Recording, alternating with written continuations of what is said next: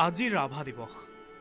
আজিৰ এই দিনটোত সমগ্ৰ অসমতেই শিল্পীগৰাকীক শ্ৰদ্ধাৰে সোঁৱৰিছে সকলোৱে।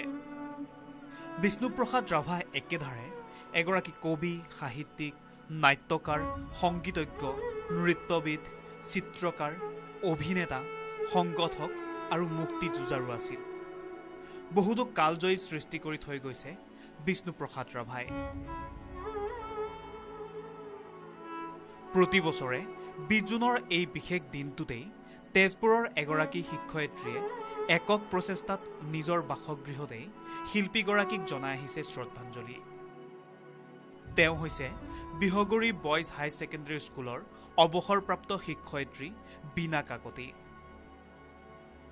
তেওঁ নিজে জ্যোতি বিষ্ণু আৰু অন্যান্য বহু পুৰণি গীতসমূহৰ চৰ্চা কৰাৰ লগতে অঞ্চলৰ বহু কণ কণ ল'ৰা ছোৱালীসমূহৰ মাজত এই গীতসমূহ গাবলৈ উৎসাহ জগাই আহিছে। ৰাভাৰ কালজয়ী গীতসমূহ যাতে সকলোৱে শুদ্ধকৈ গাব পাৰে তাৰ বাবে এই পদক্ষেপ গ্ৰহণ কৰি আহিছে। এই গীতসমূহৰ চৰ্চাৰ লগতে সংৰক্ষণৰ ক্ষেত্ৰত অহৰহ প্ৰচেষ্টা চলাই আহিছে তেওঁ।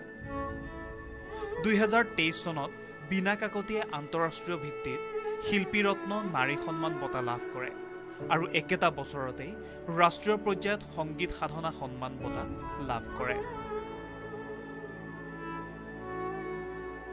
দুহেজাৰ সোতৰ চনৰ মে' মাহত চাকৰি জীৱনৰ পৰা অৱসৰ লৈ বীণা কাকতিয়ে বিভিন্ন সামাজিক কামৰ সৈতেও জড়িত হৈ আছে।